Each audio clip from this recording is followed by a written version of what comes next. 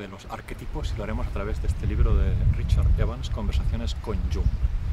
Me he venido aquí unas semanas de retiro, estoy en una residencia literaria, comparto con tres escritoras.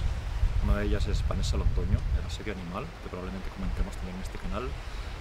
Otra es Mariana Enríquez, que alguna vez hemos comentado aquí también en el canal. Y la tercera escritora es Nuria Cadenas, escritora catalana, cuya última obra trata sobre el Imperio Romano, que es un tema que también me interesa, así que probablemente también hablemos de ella en este canal. Estoy aquí con el objetivo de escribir un poco de literatura, retirarme del mundo al ruido un tiempo.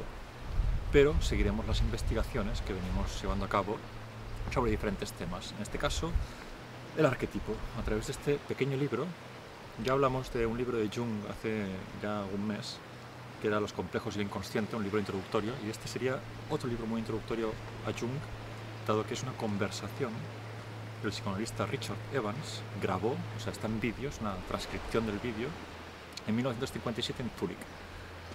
En América se conocía poco a Jung, que era bastante denostado, incluso en esa época ya tardía, en que el psicoanálisis era muy conocido, seguía siendo denostado. Y Richard Evans, para dar a conocer el pensamiento de Jung, decidió preguntarle si estaba dispuesto a grabar una entrevista personal al estilo Paris Review, varios días de rodaje en, en los que se repasará su pensamiento y sus ideas. Así que en este libro vemos cuestiones como los arquetipos, que es lo que trataremos aquí, cuestiones como el inconsciente colectivo, cuestiones como los tipos psicológicos, hay tantos temas, alquimia, etcétera, temas más complejos y esotéricos incluso, tratados de una manera introductoria para el estudiante lego, en una manera de introducir a Jung audiovisualmente en Estados Unidos. Es un gran libro, fácil de encontrar en segunda mano. Y nos centraremos aquí en los arquetipos. Vamos a ver qué es un arquetipo y cómo funciona un arquetipo a través de las palabras de Jung. Una primera consideración que querría hacer es una apreciación que hace Jung sobre las emociones y los instintos. Jung dice en este libro que todos los contenidos mentales que se encuentran cargados de un cierto tono emocional poseen el valor de un afecto y tienen tendencia a hacerse autónomos, Fíjese usted, dice Jung, cualquiera que está embargado por una emoción dirá y hará cosas de las que no se puede hacer responsable, y deberemos disculparlo de su error ya que se hallaba non composmentes, fuera de su juicio. Es decir, cuando alguien tiene una emoción muy fuerte, por ejemplo, enamoramiento, ira, es poseído de alguna manera. Esto es un concepto principal e inicial eh, en referencia al arquetipo. La idea de que cuando hay un gran afecto, nuestra conciencia se reduce y somos poseídos por una fuerza que nos lleva a actuar a veces irracionalmente o a través de la razón. Sobre qué es un arquetipo, Jung dice, siempre se trata de una situación global. Por ejemplo, hay una madre, hay un padre y hay un hijo. Con estos tres elementos existe toda una historia de cómo se desarrolla una situación así y a qué fin conduce. Es decir, con una serie de elementos dados, padre, madre, hijo, tenemos una serie de posibles historias, pues hay diferentes formas, hay diferentes desarrollos que puede tener esta tríada. Eso es un arquetipo. Un arquetipo siempre es una especie de drama abreviado. Empieza de tal y tal forma, se extiende a tal y tal complicación y encuentra su solución de tal o cual manera. Esa es la forma común del arquetipo. En el arquetipo se halla de alguna forma contenido el principio, el medio y el final. O sea que el arquetipo no es una cosa concreta, un momentum concreto, sino es un desarrollo dramático. Es un primer punto importante, un desarrollo dramático en el que entran en juego energías inconscientes y energías irracionales. La mitología es la expresión de una serie de imágenes que formulan la vida de los arquetipos. O sea, para estudiar los arquetipos tenemos una disciplina clave que es la mitología. La mitología no son historias arbitrarias, sino son historias que representan todas las combinatorias posibles de situaciones dramáticas que el hombre ha conocido, el ser humano ha conocido. El estudio de las mitologías, dice Jung, supone un enorme impulso para nuestra maduración y para nuestro bienestar. Tener una pequeña biblioteca, por ejemplo el libro de Robert Graves, hay tantos libros interesantes de Calasso sobre mitología y entender un poco cómo funcionan los mitos nos ayudará a entender las variantes de las posibilidades de lo humano.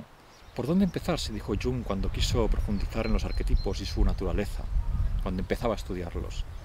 Descubrió entonces que los gnósticos del siglo I al III se ocuparon del problema de los arquetipos, que por otro lado son los elementos estructurales del inconsciente. Jung descubrió que la alquimia, conocida química primitiva, había cifrado esos elementos en sus teorizaciones. De manera que la alquimia es a su vez una psicología del inconsciente arquetipal, una psicología primitiva, un esquema, un mapa de procesos de la psique. Por lo que tenemos en la antigüedad tanto la mitología como la alquimia como fuentes de conocimiento de lo que es un arquetipo y cuáles son los arquetipos de lo humano. Cuando el entrevistador Richard Evans le pregunta por un ejemplo de esto que llama drama abreviado, de lo que sería un arquetipo, Jung pone un ejemplo que sería el arquetipo del vado. Dice, esta situación es una situación total. Imagínate que tienes que cruzar un vado en un río. Te encuentras en el agua. Y en ese momento se produce una emboscada o aparece un animal acuático como por ejemplo un cocodrilo.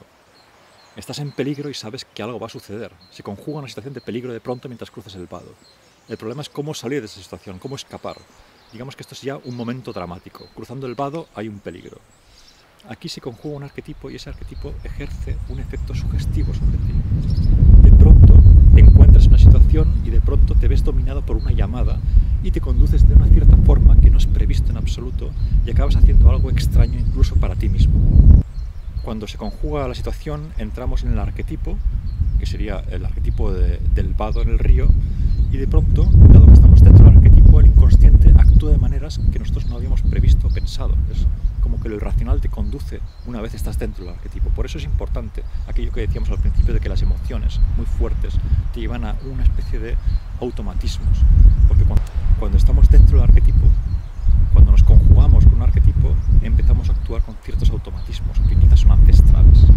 Dice Jung, hay un caso famoso en nuestra historia de Suiza, el del rey Alberto, que fue asesinado en el vado del Royce, no muy lejos de Zúrich. Sus asesinos lo fueron siguiendo escondidas todo el camino desde Zúrich, trecho bastante largo, y después de deliberar no podían ponerse de acuerdo sobre si iban o no a matarlo. Estaban confusos, lo seguían, pero no sabían si iban o no a matarlo. En el momento en el que el rey se adentró con su caballo en el vado en el río, de pronto pensaron, a la muerte, y se pusieron a gritar, ¿por qué permitimos que nos opriman? Y lo mataron, porque ese era el momento de la inspiración.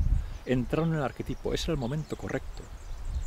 Pero sepa usted, dice Jung, y aquí viene lo misterioso, cuando se ha vivido en un ambiente primitivo, entre población primitiva de la selva, entonces presenciará ese fenómeno, el de ser dominado por una súbita llamada que le impulsa a hacer algo inesperado.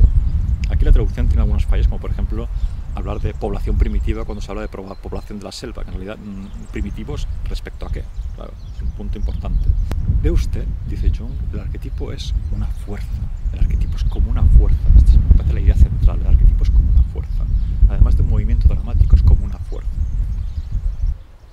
Así pues, un arquetipo, que es un movimiento dramático extendido, entramos en él y tiene tal autonomía que nos puede súbitamente dominar, por eso es una fuerza. Es igual que un ataque de epilepsia, estamos de pronto controlados por el arquetipo. Por ejemplo, sentirse enamorado, dice Jung, a primera vista es un fenómeno idéntico. Todos tenemos dentro de nosotros mismos una cierta idea de lo que sería una mujer ideal o un hombre ideal. En nuestra cabeza tenemos un ideal.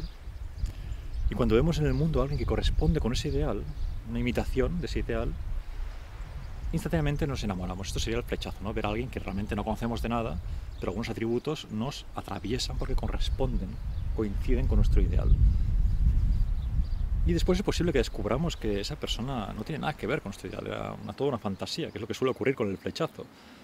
Todo ha ocurrido en ese caso a través del arquetipo del ánima, dice Chung. También las personas, yo conozco algunas personas que dicen lo contrario, tienen, salen con un chico o una chica y de pronto esa, su novio, su pareja, eh, les aparece un defecto en la cara, por ejemplo un grano.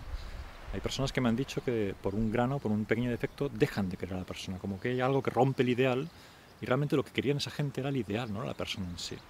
Están metidos en un arquetipo. El enamorado, por decirlo así, el loco, el fou, está en lo irracional, está movido por el arquetipo.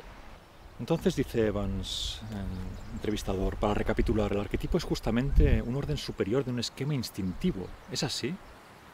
El arquetipo, dice Jung, es un orden biológico de nuestro funcionamiento mental, de la misma manera que, por ejemplo, nuestro funcionamiento biofisiológico sigue un esquema.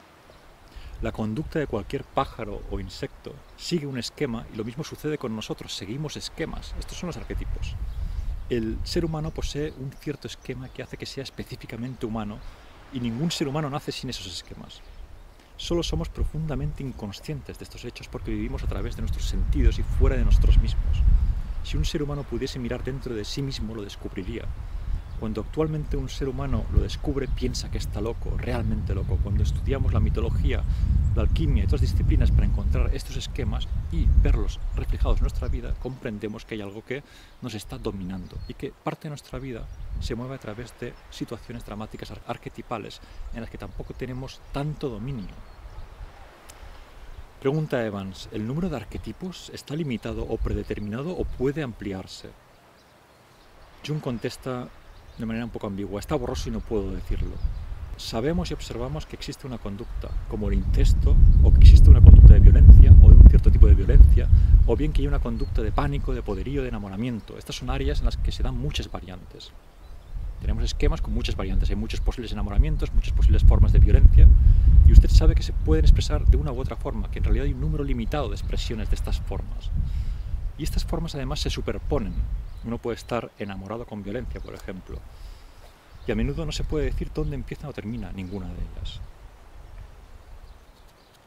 Es interesante para la escritura estudiar mitología y alquimia porque entendemos cuáles son los movimientos dramáticos nos pueden servir para armar nuestras propias tramas y para comprender cómo se desarrollaría una situación X. El arquetipo te dice situación inicial y como es un desarrollo vemos posibles desarrollos. Muy importante para el escritor o escritora que se instruye en mitología y también en alquimia, si es posible. La alquimia te da los elementos fundacionales con los que construir los diferentes procesos y transformaciones de la psique, por lo que entenderlos a nivel abstracto nos sirve luego para bajarlos a los casos prácticos, psicológicos.